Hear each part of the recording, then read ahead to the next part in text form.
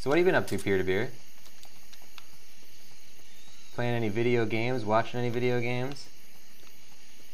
Doing stuff that doesn't have to do with video games? Those are the three possible things. Everything in life can be broken down into those three things. You're either playing video games, watching video games, or doing something that doesn't have to do with video games. That is all of the, the entire ways of the world summed up into three categories.